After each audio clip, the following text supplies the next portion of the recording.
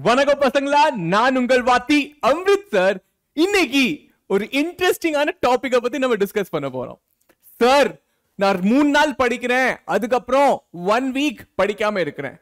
சரியா? எக்ஸாம்க்கு முன்னாடி நல்லா படிச்சேன். ஆனா எக்ஸாம் முடிஞ்சிருச்சு. இப்ப படிக்கவே தோண மாட்டேங்குது. என்ன செய்யறது சரியா? சோ இதுதான் இன்னைக்கு வந்து டாபிக் பாத்தீங்கன்னா நம்ம three tips to study consistently சரி கன்சிஸ்டண்டா படிக்கிறது. எப்படி அதை நம்ம பார்க்க போறோம். மூணு டிப்ஸ் சொல்ல போறேன். சரியா? ஸோ ஃபர்ஸ்ட் வந்து நம்ம கன்சிஸ்டண்டா படிக்கிறது எதுக்காக தேவை? அதை நம்ம பார்க்கலாம். சரியாப்பா? பாருங்க. நம்ம என்ன பண்றோம்? ஜென்ரலா பசங்க என்ன பண்ணுவாங்கன்னா எக்ஸாம்க்கு முன்னால என்ன பண்ணுவாங்க? டெய்லி சிக்ஸ் ஹவர்ஸ் சரியா? இல்லைன்னா எயிட் ஹவர்ஸ் கூட படிப்பாங்க. இல்லைன்னா ஒரு ஒரு நாள் ஒரு வாரத்துல ஒரு நாள் படிப்பாங்க. சரியா? ஃபோர் ஹவர்ஸ் நாலு மணி நேரம் படிச்சுட்டு அதுக்கப்புறம் ஃபுல் வீக் ஒண்ணுமே படிக்க மாட்டாங்க. அப்படிலாம் யார் கூட நடந்திருக்கு சொல்லுங்க? எஸ் யாரெல்லாம் இந்த மாதிரி செஞ்சிருக்கீங்க? எல்லாரும் பண்ணுவாங்கப்பா. சரி ஆனா அது ஏன் தப்பு? அதை நம்ம இப்ப பார்க்கலாம். பாருங்கப்பா. நம்ம வந்து நம்ம வந்து ஒரு ஃபோர் ஹவர்ஸ் படிக்கிறோம்னு வச்சுக்கோ. சரி அதுக்கப்புறம் ஃபுல் வீக் நம்ம ஒண்ணுமே படிக்கலைன்னா நம்ம வந்து ரொம்ப ரொம்ப டைமை வேஸ்ட் பண்றோம். சரியா? இதை விட பெட்டரா நீங்க என்ன பண்ணலாம்னா டெய்லி டூ ஹவர்ஸ் படிச்சாலும் இன் செவன் டேஸ் நீங்க வந்து பதினாலு மணி நேரம் படிக்கிறீங்க. ஈவன் நீங்க ஒரு மணி நேரம் டெய்லி படிச்சாலும் ஏழு நாள்ல செவன் ஹவர்ஸ் படிக்கிறீங்க. ஸோ இது பெட்டரா இல்ல இது பெட்டரா சொல்லுங்க. அதே இது பாருங்க. நீங்க டூ ஹவர்ஸ் டெய்லி ஒரு ஒன் மந்த்க்கு படிச்சீங்கன்னா எவ்வளவு இருக்கும்? சிக்ஸ்டி ஹவர்ஸ் படிச்சிருப்பீங்கன்னு அர்த்தம். சரி அதுவும் இன்டூ டுவெல் ஒரு ஒரு வருஷத்துக்கு. ஒரு வருஷத்துல எவ்வளவு மாசம் இருக்கும்? பன்னெண்டு மாசம். படிச்சீங்கன்னா எவ்வளோ? செவன் டுவெண்ட்டி ஹவர்ஸ் படிச்சிருப்பீங்க. புரியுதாப்பா? செவன் டுவெண்ட்டி ஹவர்ஸ்னால் ரொம்ப ரொம்ப அதிகம். ஓகேயா ஸோ அதான் பவர் ஆஃப் கன்சிஸ்டன்சின்னு சொல்கிறது நீங்கள் ஒரு மணி நேரம் படித்தாலும் பாருங்க ஒரு மணி நேரம் படித்தாலும் சரியா? ஒரு தேர்ட்டி டேஸ்க்கு படிச்சீங்கன்னா தேர்ட்டி ஹவர்ஸ் இன்டூ டுவெல் எவ்வளோ? த்ரீ சிக்ஸ்டி ஹவர்ஸ்ப்பா இது ரொம்ப அதிகம்.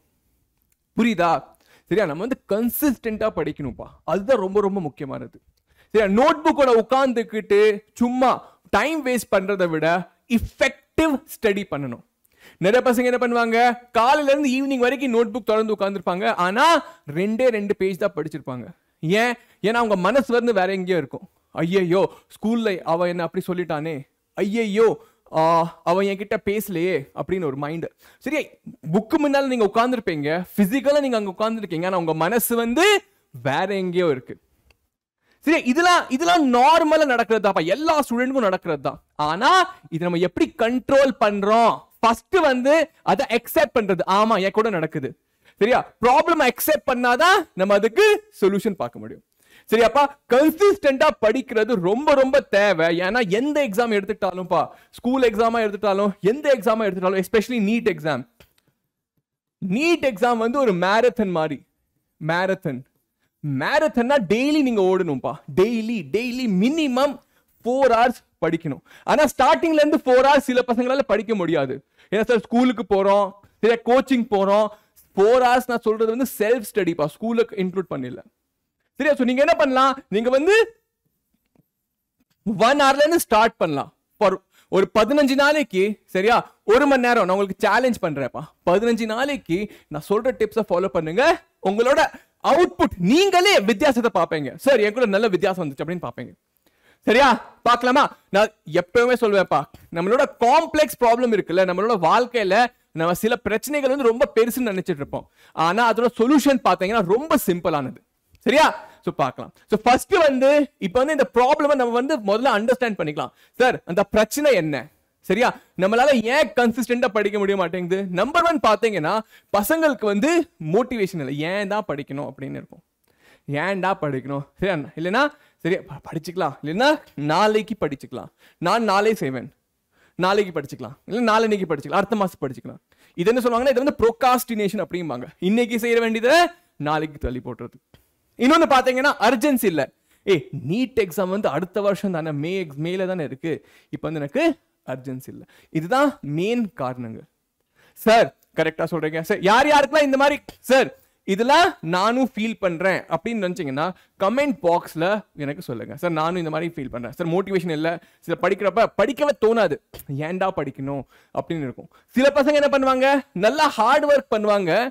ஆனால் அவங்களுக்கு வந்து ரிசல்ட் கிடைக்காது. அதனால நிறுத்திடுவாங்க ஆமாவா இல்லையா? சார் நான் நல்லா கஷ்டப்பட்டு படித்தேன் எனக்கு ரிசல்ட் வர மாட்டேங்குது. நான் டெய்லி படிக்கிறேன். ஆனால் நீட் டெஸ்ட் எனக்கு வந்து மார்க்ஸ் வர மாட்டேங்குது. அதனால இப்போ நான் எடுத்துட்டேன் அப்படின்னு அப்படின்னு இருப்பாங்க நிறைய பசங்க.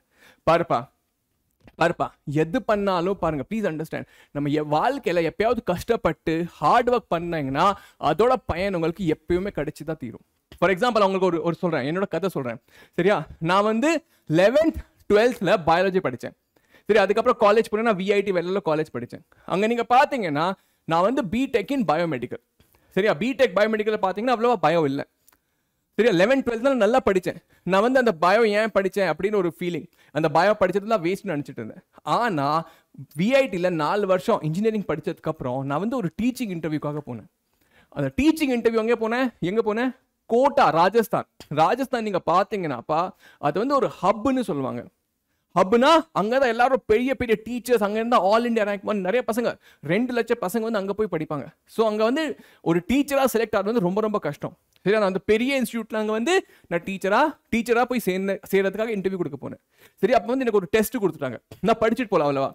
ஆனால் நான் லெவன்த் டுவெல்த்தில் நாலு வருஷத்துக்கு முன்னால் படித்த பயம் பார்த்தீங்களா நான் அப்போ கஷ்டப்பட்டதுல. அந்த பயம் வந்து எனக்கு அந்த எக்ஸாமில் ஹெல்ப் பண்ணுச்சு. புரியுதா? என்னால் நம்பவே முடியாது. நான் வந்து இங்கே இங்கே பார்த்து புரியுதா? என்னோட சப்கான்ஷியஸ் மைண்ட்ல இருந்து ஆன்சர் வந்து தானாகவே வர வர ஆரம்பிச்சிருச்சு. ஸோ ஐநூறு பேர் அந்த இன்டர்வியூ கொடுத்தாங்கப்பா. ஐநூறு பேரில் அவங்க வந்து நாலோ அஞ்சு பேர் தான் செலக்ட் பண்ணாங்க. அதில் ஒருத்தன் நான் நான் லெவன்த் டுவெல்த்தில் படிச்சது சரியா? நாலு வருஷம் கழிச்சு கூட எனக்கு யூஸ் ஆச்சு. புரியுதா? ஸோ நீங்கள் படிச்சது நீங்க ஹார்ட் ஒர்க் பண்ணுறீங்கன்னா எப்பவுமே வேஸ்ட் ஆகாது. இப்போ உனக்கு அந்த பயன் கிடைக்காம இருக்கலாம். ஆனால் அல்டிமேட்டாக கடவுள் இருக்காரு உனக்கு கிடைக்கும். கண்டிப்பாக கிடைக்கும். புரியுதா? சரியா? ஸோ இந்த ப்ராப்ளம்ஸை நம்ம எப்படி டேக்கிள் பண்ணலாம்? அதுதான் நான் அப்போ வந்து மூணு டிப்ஸாக சொல்ல போகிறேன் சரியா? நம்பர் ஒன் டிப் நீங்கள் பார்த்தீங்கன்னா பாருங்கப்பா. இப்போ என்ன செய்யுது? பசங்க சொல்லுவாங்க இப்போ என்ன சார் பண்ணுறது நம்பர் ஒன் டிப் பார்த்தீங்கன்னா உங்கள் மனதை கட்டுப்படுத்துங்கள். பாரு மேஜர் ப்ராப்ளம் நம்ம படிக்காத இருக்கிறதுக்கு என்னன்னா நம்ம வந்து நம்ம மனசு தோணல சார் எனக்கு மனசு வந்து மனசே சரியில்லை படிக்கவே தோணல. அப்படின்னு நிறைய பேர் இருப்பாங்க. ஆமாவா இல்லையா? சொல்லுங்க. சார் நான் படிக்க படிக்க எடுப்பேன். இல்லை புக் எடுத்த உடனே எனக்கு வந்து ஃபோன் ஞாபகம் வந்துடும் இல்லைன்னா டிவி பார்க்க ஞாபகம் வந்துடும் இல்லைன்னா ஃப்ரெண்டுக்கு மெசேஜ் பண்ணணும் அது அப்படி ஞாபகம் வந்துடும் புரியுதா? ஸோ இது என்ன சொன்னாங்கன்னாப்பா நான் நான் வந்து ஒரு டெட் டாக் பார்த்தேன்ப்பா. டெட் டாக் யாரெல்லாம் பார்க்கலையோ ப்ளீஸ் யூடியூப்ல டெட் டாக் பாருங்க. அது ரொம்ப செம்மையாக இருக்கும் சரியா? உங்கள் பர்சனாலிட்டி டெவலப்மெண்ட் வந்து இது ரொம்ப யூஸ்ஃபுல்லானது சரி? ஸோ அந்த டெட் டாக்ல என்ன சொன்னாங்கன்னா நம்ம மனசு இருக்குல்ல அது வந்து குரங்கு மாதிரி மங்கி மாதிரி. ஒரு இடத்துல இருந்து இங்கே குடிச்சு குதிச்சுட்டே இருக்கும். நீ ஏதாவது நல்லது பண்ணணும்னா அது வந்து இல்லை இது வேண்டாம் அது பண்ணலாம். இல்லை அது வேண்டாம் இது பண்ணலாம். அது வந்து என்ன சொல்லணும்னா இமீடியட் சாட்டிஸ்ஃபேக்ஷன் தேடும். அந்த குரங்கு வந்து இமீடியட் இமீடியட் சாட்டிஸ்ஃபேக்ஷன்னா நான் இப்போ என் ஃப்ரெண்டுக்கு மெசேஜ் அனுப்பிட்டேன்னா எனக்கு இமீடியட்டாக சந்தோஷமாக இருக்கும். நான் வந்து இப்போ படிக்காமல் விளாட போயிட்டேன்னா எனக்கு இமீடியட்டாக சந்தோஷமாக இருக்கும். புரியுதா? ஸோ அது வந்து இமீடியட் சந்தோஷத்தை தேடும். ஆனா இதுல நீங்க என்ன மிஸ் பண்றீங்க? உங்க லாங் டேர்ம் கனவுகள் இருக்குல்ல லாங் டேர்ம் கோல்ஸ் இருக்குல்ல அதை நம்ம மிஸ் பண்ணிடுவோம். புரியுதா? சோ நம்ம மைண்ட் வந்து இமீடியட்டா பாருப்பா நீ ஏதாவது சாப்பிட்டேன்னா அது வந்து இமீடியட்டா போயிடும் ஆனா நீ கஷ்டப்பட்டு ஹார்ட் ஒர்க் பண்ணேன்னா அதாவது அச்சீவ் பண்ணேனா அது வந்து உனக்கு வாழ்க்கை முழுக்க இருக்கும். நீ நீட் எக்ஸாமை கிளியர் பண்ணேன்னா வாழ்க்கை முழுக்க உன்னை வந்து எல்லாரும் டாக்டர் டாக்டர்னு கூப்பிடுவாங்க. ரெஸ்பெக்டோட கூப்பிடுவாங்க. உங்க அம்மா அப்பா ரொம்ப ப்ரௌடா ஃபீல் பண்ணுவாங்க. புரியுதா? சோ நம்ம மைண்ட் வந்து இமீடியட் பிளஷரை ஃபோக்கஸ் பண்ணுப்பா ஆனால் நம்ம வந்து என்ன பண்ணணும்? நம்ம வந்து லாங் டேர்ம் கோலை மறக்கக்கூடாது. லாங் டேர்ம் கோல் மேலே ஃபோக்கஸ் பண்ணணும். அது ரொம்ப இம்பார்ட்டன்ட் ப்ளீஸ் இதை வந்து கத்து இது வந்து ரொம்ப இம்பார்ட்டன்ட்ப்பா சரியா? உங்களோட immediate pleasure long term goals எது உங்களுக்கு முக்கியம்? அதை நீங்களே டிசைட் பண்ணுங்க. சரியா? கமெண்ட் பாக்ஸ் சொல்லுங்க எனக்கு. ரெண்டாவது மனம் குரங்கு போன்றது சொன்னல ஸோ நம்ம என்ன பண்ணலாம்? நம்ம குரங்கு எது சொல்லுதோ அதுக்கு ஆப்போசிட்டாக பண்ணணும். மர ம- குரங்கு என்ன சொல்லுது? வா டிவி பார்க்கலாம். இல்லை இப்போ எனக்கு படிக்கிற டைம் நான் படிப்பேன். வா விளாட போகலாம் இல்லை நான் படிப்பேன். புரியுதா? இந்த மாதிரி அது நாலஞ்சு தடவை குதிக்கும். ஆனால் அதை நீ கண்ட்ரோல் பண்ணிட்டேன்னா புரியுதா? இது வந்து ஒரு டெக்னிக் மாதிரிப்பா இது வந்து ஒரு ஒரு ஸ்கில் மாதிரி. உன் மனசை கண்ட்ரோல் பண்ணுறது வந்து ஒரே நாள் நடக்காது. ஆனால் கொஞ்சம் கொஞ்சமா கொஞ்சம் கொஞ்சமா நீ வந்து அதை கற்றுக்கணும் பாரு நீயும் உன் மைண்டும் தனித்தனி டிஃப்ரெண்ட் சரியா? நீயும் உன் மைண்டும் வேற வேற. ஒன்றும் இல்லை. நம்ம என்ன நினைப்போம்? நானும் என் மனசு ஒன்று தான் இல்லை. உன் மனசு இது நீ இது நீ வந்து உன் மனசை கண்ட்ரோல் பண்ணணும். உன் மனசு உன்னை கண்ட்ரோல் பண்ணக்கூடாது. You should control your mind your mind should not control you புரியுதா? ஸோ இங்க இப்பலேருந்து இந்த ஸ்கில்ல கத்துக்கிட்டீங்கன்னா ட்ரஸ்ட் மீ நீங்க சக்சஸ்ஃபுல் ஆகிறத யாராலையும் தடுக்க முடியாது. கன்சிஸ்டண்டா பண்ணிப்பீங்க புரியுதா? சரி சார் நான் இது வந்து புரிஞ்சிருச்சு. சரியா? வேற என்ன பண்ணலாம்? இன்னொரு விஷயம் ஒரு சின்ன சின்ன டாபிக் சொல்ல பாருங்க. நம்ம எப்பயாவது இருப்போம்ல எது செஞ்சிட்டாலும் ரெண்டு இருக்கும். One which you should do one which you feel like doing சரியா? நான் வந்து எதை செய்யணும்? ஒரு மனுஷன் ஒரு நல் பாரு நீ வந்து ஒரு சுச்சுவேஷன் வந்தால் அது வந்து நீ ஒன்னே செப்பரேட் பண்ணிக்கோப்பா. ஒன்று வந்து எனக்கு தோணுது எனக்கு இது பண்ணால் நல்லா இருக்கும் எனக்கு ஃபீல் குட்டாக இருக்கும். ஆனால் நான் வந்து இது செய்கிறது தான் என் வாழ்க்கைக்கு நல்லது. புரியுதா? இது செஞ்சால் எனக்கு இப்போ நல்லா பிடிக்கும். ஆனால் இதுதான் what you should do what you feel like doing both are different always நம்ம என்ன சூஸ் பண்ணோம் நான் எதை கண்டிப்பா செஞ்சே ஆகணும். அதை நம்ம சூஸ் பண்ணோம் இது செஞ்சா எனக்கு வாழ்க்கைக்கு நல்லது. அதெல்லாம் சூஸ் பண்ணும் இது செஞ்சா எனக்கு இப்போ வந்து நல்லா ஃபீல் ஆகும். அது இம்பார்ட்டண்டா இல்ல இது செஞ்சா என் வாழ்க்கைக்கு நல்லது. இது செய்யறதா? ஸோ இதான் எப்பயுமே சூஸ் பண்ணும் ஓகே ஆல்வேஸ் நீங்க வந்து உங்க மனசை விட உங்களை வந்து செப்பரேட் பண்ணி பார்த்துக்கணும்.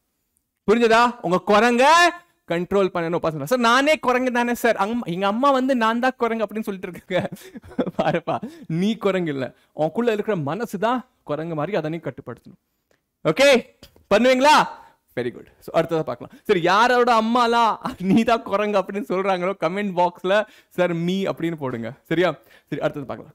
ரெண்டாவது திக் பார்த்தீங்கன்னா ஃபோக்கஸ் ஆன் ஸ்மால் ஸ்டெப் அப்படின்னு என்ன சார் பாருப்பா நம்ம வந்து ஏன் படிக்காம இருப்போம்? ஏன்னா நமக்கு வந்து இந்த டாஸ்க் வந்து ரொம்ப பெருசா தெரியும். ஐயையோ அஞ்சு சாப்டர் இருக்கே. இது நான் நினைச்சாலும் என்னால வாழ்க்கையில பண்ண முடியாது. ஐயையோ இவ்வளோ பெரிய சிலபஸ் இருக்கே. இதை நான் எப்படி சார் கண்டி ஏன்னோ எப்படி சார் கம்ப்ளீட் பண்ணுவேன்? அதனால நம்மளால சரி விடு. எப்படி இருந்தாலும் ஆக போறது இல்லை கம்ப்ளீட் ஆக போறது இல்லை. அதில் எஃபர்ட் போட்டு என்ன பிரயோஜனம் அப்படின்னு நினைப்போம். ஆமாவா இல்லையா? யார் அப்படி வச்சிருக்கீங்க சார் இதில் எஃபர்ட் போடுறது வந்து எனக்கு ரொம்ப வேஸ்டான வேஸ்ட்டாக தோணுது. ஃபார் எக்ஸாம்பிள் எனக்கு சார் நீட்டில் நான் எவ்வளோ படித்தாலும் எனக்கு செலெக்ஷன் நடக்காது அப்படின்னு சில பேர் இருப்பாங்க.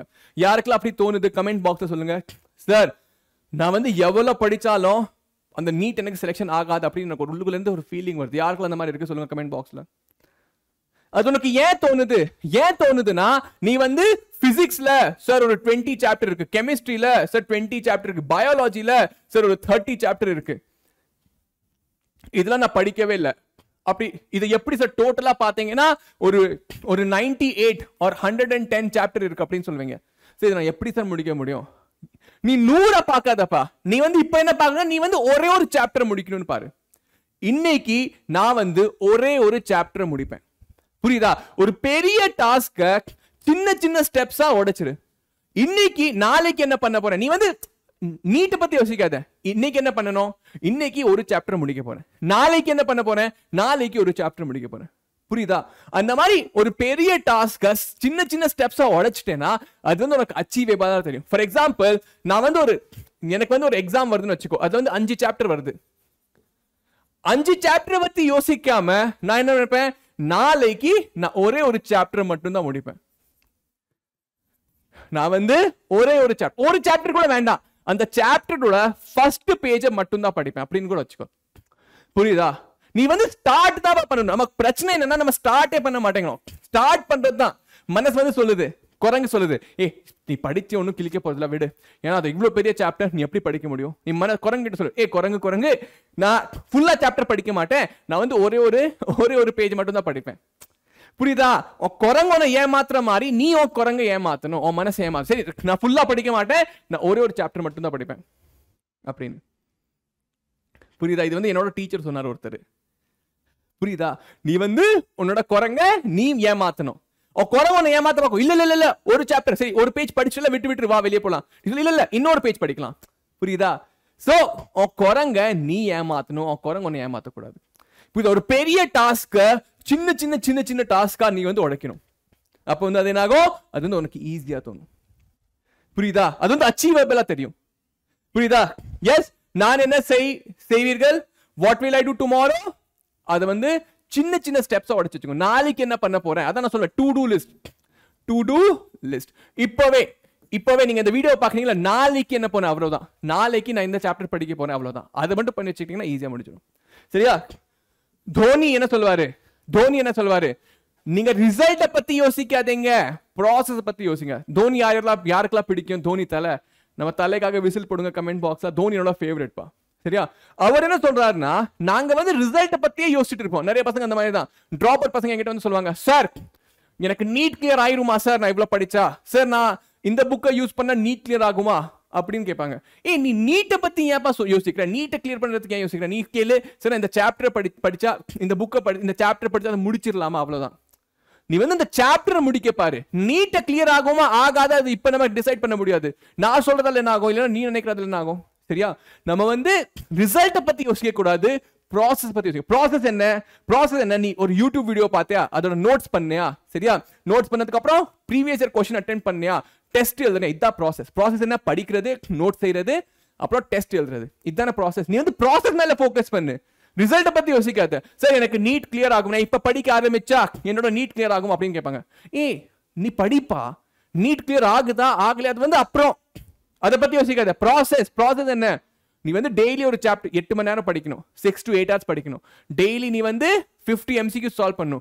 எவ்ரி வீக் வந்து நீ ஒரு டெஸ்ட் எழுதணும். அது பண்றியா? அவ்வளவுதான். அது பண்ணிட்டே இரு. ரிசல்ட் வந்து தானே ஆட்டோமேட்டிக்காக வரும்.